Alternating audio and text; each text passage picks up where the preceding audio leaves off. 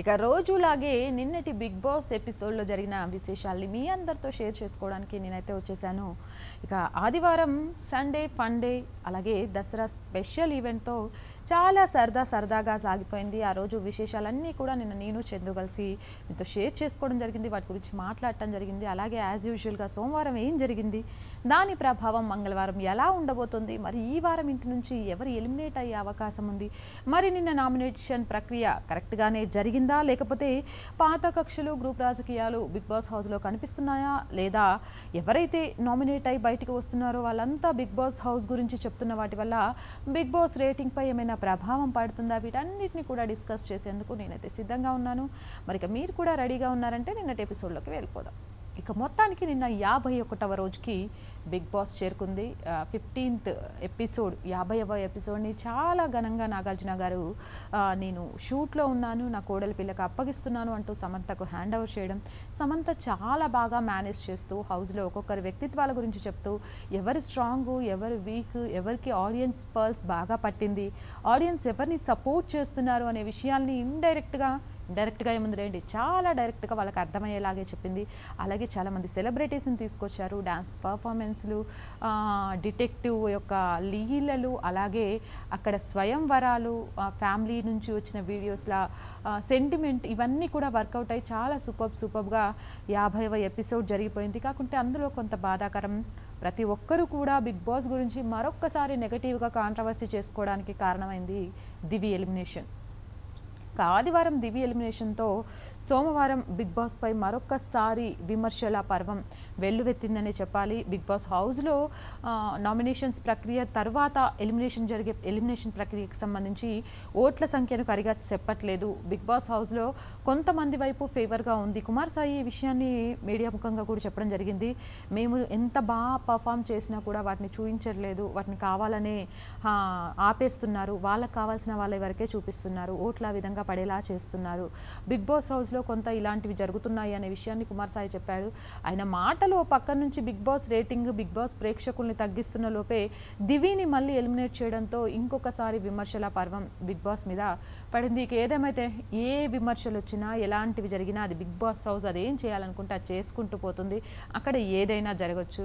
కాబట్టి మనం దాని గురించి ఎంత తక్కువ మాట్లాడుకుంటే అంత మంచిది. ఎందుకంటే మనం మాట్లాడుకోవడం వల్ల దానికి ఎటువంటి ప్రయోజనం లేదు కాబట్టి. కాకుంటే వాళ్ళు ఎంటర్టైన్ చేస్తున్నారు మనం ఎంటర్టైన్ అవుతున్నాము. రోజుకు ఒక విషయం గురించి మాట్లాడుకోవడానికి మనకు ఒక అవకాశం దొరుకుతుంది కాబట్టి మనం చూసేస్తున్నాం. ఇక యాభై ఒకటవ ఎపిసోడ్ గురించి మాట్లాడటం మొదలు పెడితే యాభై ఒకటవ ఎపిసోడ్ సోమవారం నార్మల్గా సోమవారం అంటేనే బిగ్ బాస్ హౌస్లో చాలా హాట్ హాట్గా ఉంటుంది. మీకు నాకు అందరికీ తెలుసు. వాళ్ళకు కూడా తెలుసు. ఎందుకంటే ఆదివారం ఫుల్గా ఎంజాయ్ చేసిన వాళ్ళకు సోమవారం మళ్ళీ నామినేషన్ అనేది ఒకటి మొదలవుతుంది. ఒక్కొక్క వారం అందులో ఉంటున్న కొద్దీ వాళ్ళకు పేమెంట్ల రూపంలో ఎంతో కొంత అమౌంట్ రావడం ప్రేక్షకుల నుంచి వాళ్ళకంటూ ఫ్యాన్ ఫాలోయింగ్ పెరగడము అంటే నిజానికి కూడా బిగ్ బాస్ నుంచి బయటకు వచ్చిన ఎవ్వరు కూడా సెలబ్రిటీలుగా మారిందైతే మనం చూడలేదు. సెలబ్రిటీలుగా ఉన్న వాళ్ళు కూడా ఈరోజు కెరియర్ లేకుండా ఉన్నారు. మేబీ మరి వాళ్ళు ఎందుకు అంత తాపత్రయపడుతున్నారు అనేది మనకు తెలియదు కానీ సోమవారం అంటే మాత్రం బిగ్ బాస్ హౌస్ హాట్ హాట్గా ఉంటుంది నామినేషన్స్తో. కానీ ఈసారి వెరైటీగా ఈ సోమవారం కట్ చేయగానే లాస్య వంట చేస్తూ కనిపించింది. ఎందుకంటే దివి వెళ్తూ వెళ్తూ బిగ్ బామ్ లాస్య మీద చాలా ప్రేమగా వేసింది. అక్క నువ్వు తప్ప ఇంకెవరు చేసినా ఫుడ్ వేస్ట్ అవుతుంది కాబట్టి ఈ వన్ వీక్ మొత్తము కూడా ఉదయం బ్రేక్ఫాస్ట్ నుంచి మొదలేస్తే నైట్ లంచ్ వరకు సారీ డిన్నర్ వరకు కూడా లాస్యకే చేయాలి అని చెప్పింది. లాస్యను అసిస్టెంట్గా కోరుకోమంటే ఏరి కోరి ముద్దుగా అభిజిత్ని ఏరుకోవడం జరిగింది. అభిజిత్ నాకు అసిస్టెంట్గా ఉండాలని. కానీ నిన్న ఓపెన్ చేసిన సీన్లో అభిజిత్ తింటూ కూర్చుంటే లాస్యకు అఖిల్ అసిస్టెంట్ చేస్తూ కనిపించాడు. అలాగే అభిజిత్ తింటూ లాస్యక లాస్య గారు ఈ వీక్ మొత్తం మనమే వంట చేయాలి అనగానే లాస్య మనమేం చేస్తే అంతే ఈ వారం మన చేతుల్లోనే ఉంటుందని తన స్టైల్లో తను చెప్పేసి ఒక నవ్వు నవ్వేసింది. మరి ఈ నవ్వులో మీకు హాస్యం కనిపించిందా? లేకపోతే కన్నింగ్ కనిపించిందా? అనేది కింద కామెంట్ చేసేయండి. మొత్తానికి ఏదో ఒక నవ్వు అయితే లాస్య నవ్వేసింది. ఇక ఆ తరువాత అక్కడ కొన్ని సీన్స్ చూపించారు వాటి గురించి పెద్దగా మాట్లాడుకోవాల్సిన అవసరం లేదు. ఇక అలాగే తెల్లవారుజామున అని చెప్పేసి ఒక సూపర్ పాటతో మళ్ళీ ఎంట్రీ ఇచ్చేశారు. అఖిల్ అభి మధ్య కొంత మనస్పర్ధలు తగ్గాయేమో అనేలాగా మనకు ఎంట్రీ కనిపించింది. కానీ అది బిగ్ బాస్ హౌస్. ఎంట్రీ ఒకలాగా ఉండొచ్చు ఎండింగ్ మరోలాగా ఉండొచ్చు లేదా ఎంట్రీ ఎండింగ్ ఒకేలాగా ఉండొచ్చు ఇదనమాట మరి ఏం జరిగిందో మీకు తెలిసిన నేను కూడా చెప్పేస్తాను. ఎందుకంటే చూడని వాళ్ళు చాలామంది ఉంటారు కాబట్టి. మొత్తానికి ఇది అయిపోగానే మోనాల్ విషయంలో అభి కొంత కోపం తగ్గినట్టుగానే కనిపించింది. కానీ మన గ్యాంగ్ ఉంది కదా హారిక నోయల్ లాస్య అభి ఇక వీళ్ళు టీం డిస్కషన్ పెట్టడం అనేది చాలా కామన్ కదా. కూర్చొని పెట్టడము మోనాల్కి మధ్య అభికి మధ్య నిజంగా లాస్య గారిని కన్నింగ్ స్మైల్ అని ఎందుకు అన్నారో నాకు అర్థం కాలేదు కానీ నిన్న మళ్ళీ అదే స్మైల్ తోటి అభికి మోనాల్కి మధ్య ఒక చిచ్చు పెట్టేసింది. కదా? మీకు కూడా తెలుసు. అయినా నేను చెప్తాను వినండి. మొత్తానికి కూర్చోవడం వాళ్ళు సరదాగా ఎప్పటిలాగే ఒకళ్ళ గురించి ఒకళ్ళు షెటర్లు వేసుకోవడం ఒక వేరే వాళ్ళ గురించి మాట్లాడుకోవడం వీళ్ళు నలుగురు ఒక గ్రూప్గా బిగ్ బాస్ హౌస్లో మారారు అనడానికి మరొకసారి పరాకాష్ఠగా కనిపించడం కూడా జరిగింది. అభితోటి చూసావా మోనాల్? అందరివి దుప్పట్లు మడతేసింది బట్ నీ దుప్పటి మడతేయలేదు అంటే నువ్వు ఎంత స్పెషల్ అంటూ వెటకారాన్ని తగిలిస్తూ మోనాల్ మీద అయితే ఒక విషపు బీజాన్ని అభి నాటేసింది నవ్వుకుంటూనే లాస్య. చాలా గ్రేట్ అండి తను. ఏం చేసినా కూడా నవ్వుకుంటూ చేస్తుంది. అంటే అదొక స్టైల్ అదొక ఆటలో ప్లానింగ్ అయి ఉంటుంది లాస్య గారిది. వెంటనే అభి రియాక్ట్ కాకుండా ఉంటాడా?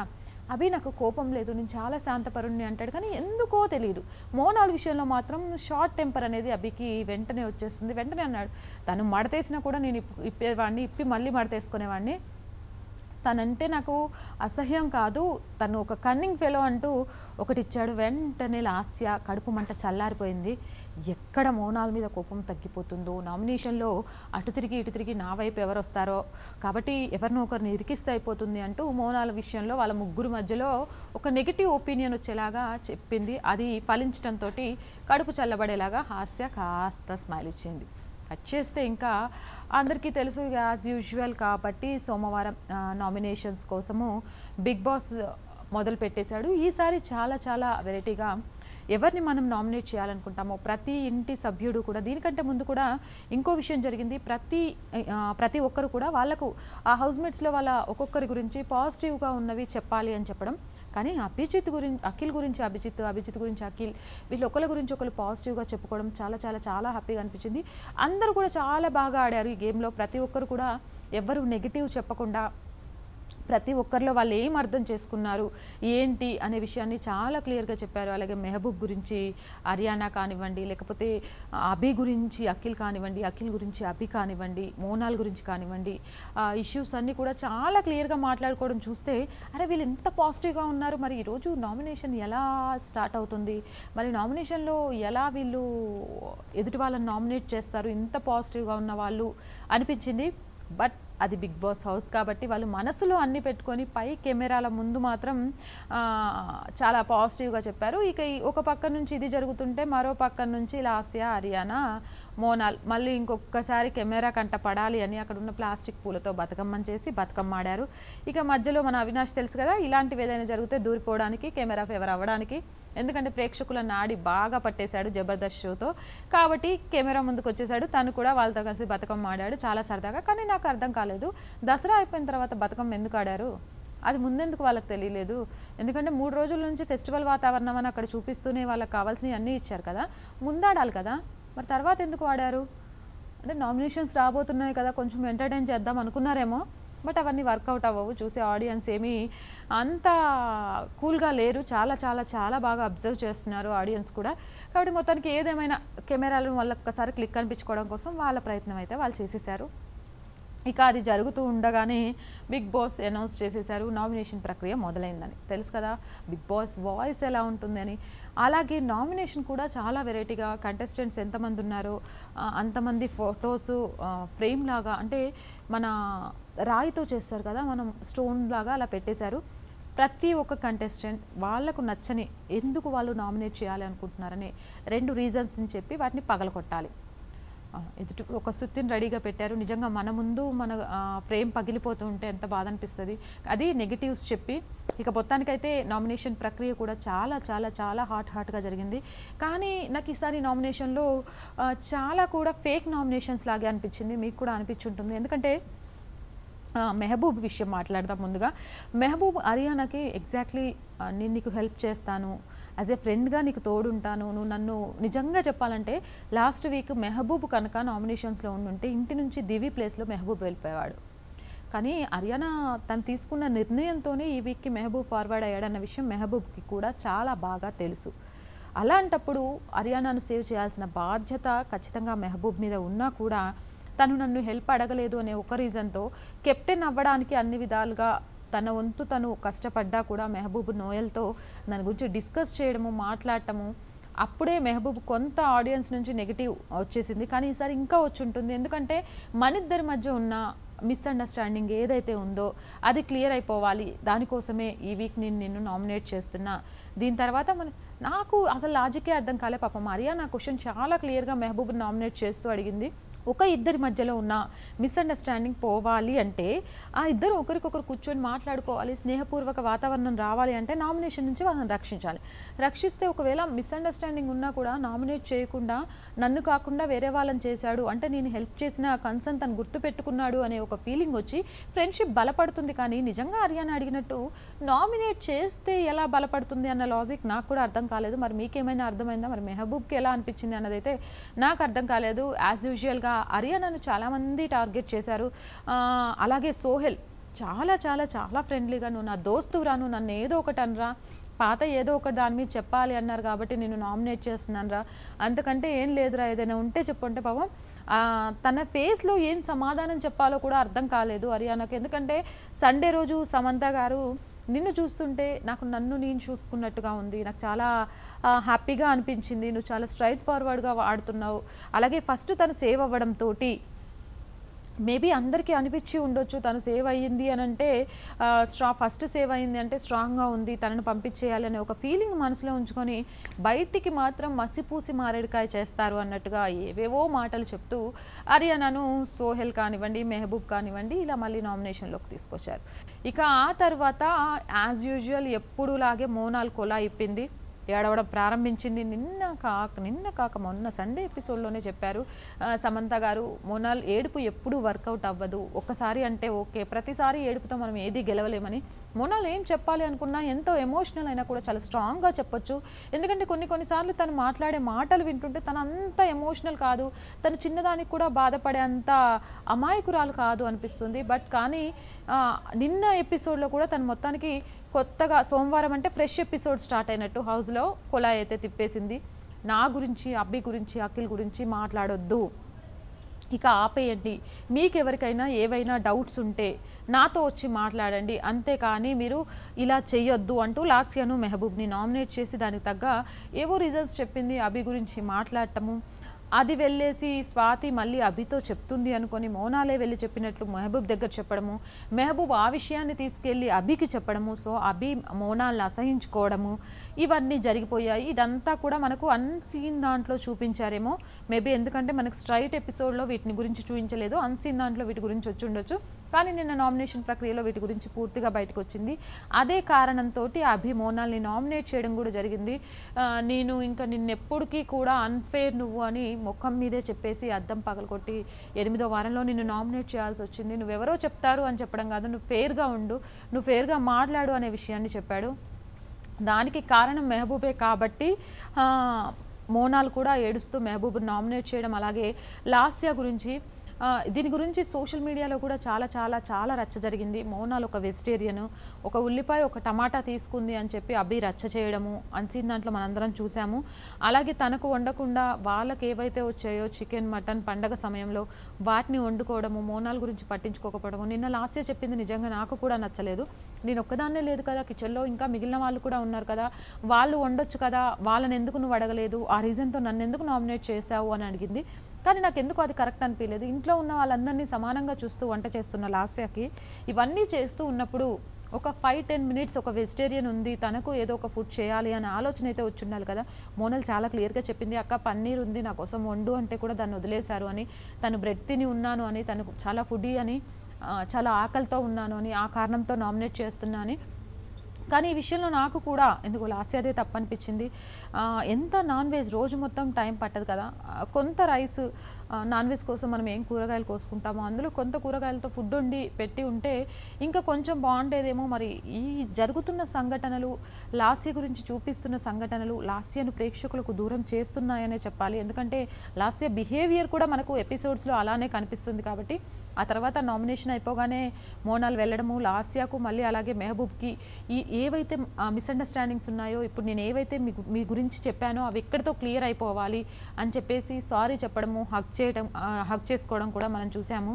ఇక ఎప్పుడు అభికి అఖిల్కి మధ్య ఫైర్ అవుతుంది. కానీ సార్ అమ్మ రాజశేఖర్కి అఖిల్కి మధ్య చాలా పెద్ద వార్ జరిగింది.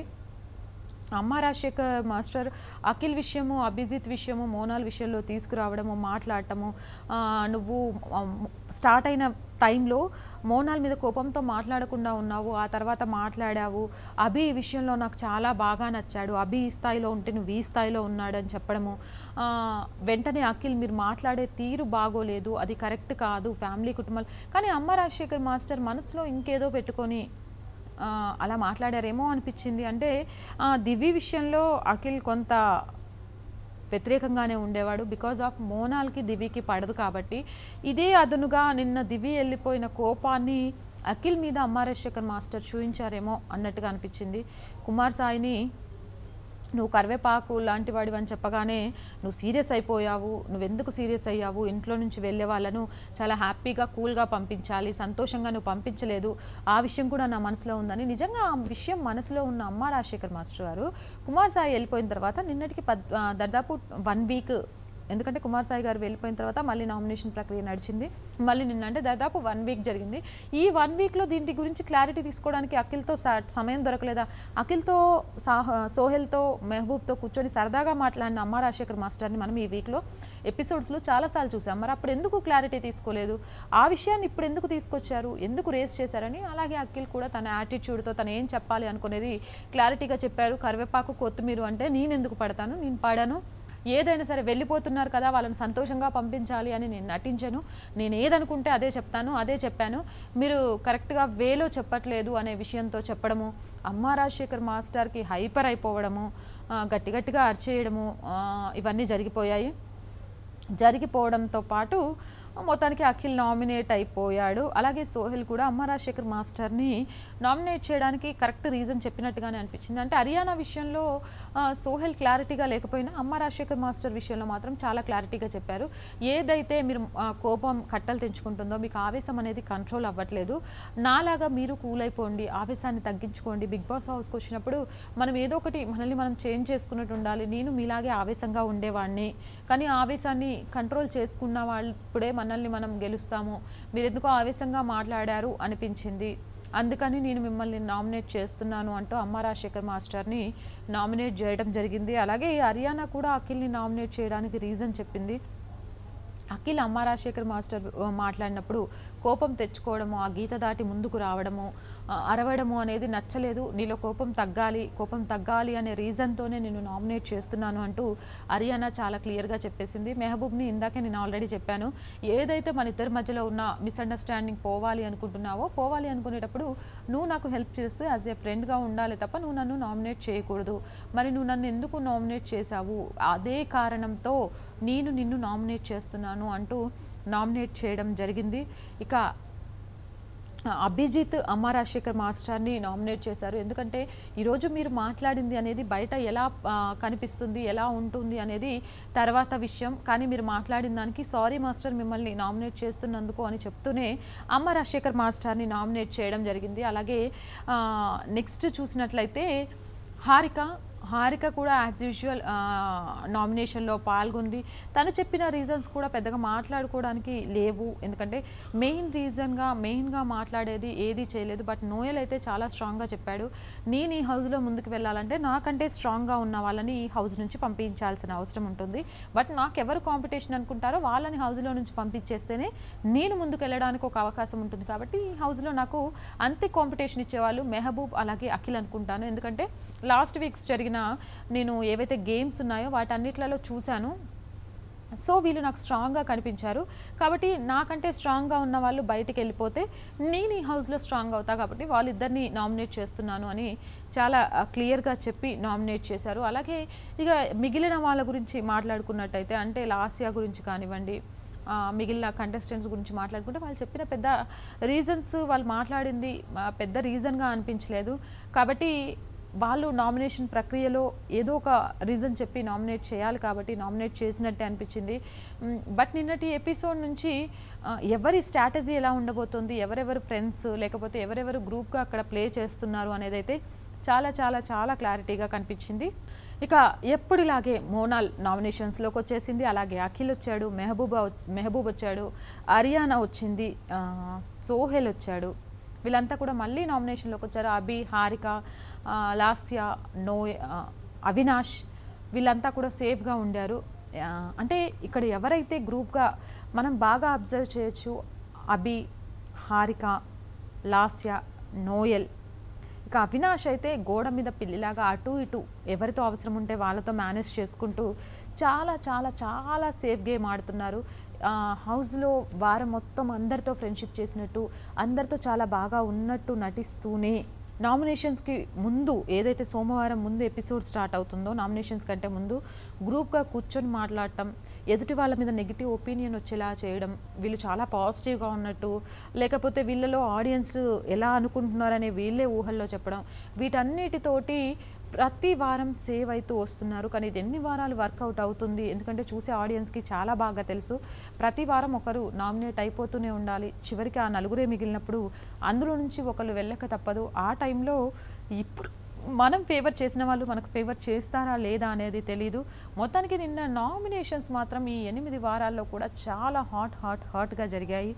ప్రతి ఒక్కరి పగులుతున్నంత సేపు కూడా ఒక్కొక్కరిలో ఆ భావన అనేది అయితే బయటకు వచ్చింది వాళ్ళ ఆవేశాలు కట్టలు తెంచుకున్నాయి. ఒక్కొక్కరు అరిచారు బాధపడ్డారు. వాళ్ళ ఎమోషన్స్ని చెప్పారు. కాకపోతే ఫస్ట్ టైం అభి అఖిల్ని నామినేట్ చేయకపోవడం ప్రతి ఒక్కరికి చాలా వింతగా అనిపించింది. మేబీ సమంత గారు వచ్చి వెళ్ళిన తర్వాత హౌస్లో ఏదైనా మ్యాజిక్ జరిగిందేమో ఎందుకంటే అభి బట్టల్ని కూడా తిరిగి పంపించేశారు. ఎందుకంటే సమంత గారు రిక్వెస్ట్ చేశారు కదా అభి బట్టల్ని చేయండి అని దసరా సందర్భంగా. సో అభి బట్టలు తిరిగి వచ్చేసాయి. అభి కూడా సమంత గారికి థ్యాంక్స్ చెప్పాడు. చాలా హుషారుగా జోష్గా థ్యాంక్స్ కూడా చెప్పేశాడు. అఖిల్తో కూడా కొంత భేదాలు తగ్గినట్టుగానే అనిపించినాయి. ఎందుకంటే మోనాల్ ఎప్పుడైతే అభి అఖిల్ విషయంలో నన్ను తీసుకురామాకండి దీని గురించి మాట్లాడకండి అన్నప్పుడు కూడా అభి ఎక్స్ప్రెషన్లో కొంత తేడా వచ్చింది అన్నట్టు సో మరి ఈ వీక్లో అభి అఖిల్ మళ్ళీ ఇదివరకులాగే మునుపటి ఫ్రెండ్స్ అవుతారా? ఎందుకంటే అఖిల్ కూడా అమరాజశేఖర్ మాస్టర్ మాట్లాడినప్పుడు చాలా క్లారిటీ ఇచ్చాడు. మోనాల్ గురించి మేమిద్దరం విడిపోలేదు. మోనాల్ వల్ల మేమిద్దరం గొడవ పెట్టుకోలేదు. మోనాల్ మా ఇద్దరి మధ్య సమస్యే కాదు అనే విషయాన్ని చాలా క్లారిటీగా ఇచ్చాడు. మరి అదే నిజమైతే వీళ్ళిద్దరి మధ్య ఆ విభేదాలు రావడానికి కారణం ఏంటి? ఇక నుంచైనా వాళ్ళిద్దరి మధ్య విభేదాలు పోయి మళ్ళీ ఇదివరకులాగే ఫ్రెండ్స్ అవుతారా? ఇదివరకులాగే ఫ్రెండ్స్ అయినా నవ్వుతూ నవ్వుతూ సురకలు అంటిస్తూ గ్యాప్ పెంచడానికి ప్రయత్నిస్తున్న వాళ్ళు వీళ్ళ ఫ్రెండ్షిప్ని కంటిన్యూ చేయనిస్తారా? మరి ఈ వారం కెప్టెన్సీ టాస్క్కి చేరుకోవడానికి హౌస్లో ఎలాంటి పర్ఫార్మెన్స్ చేస్తారు?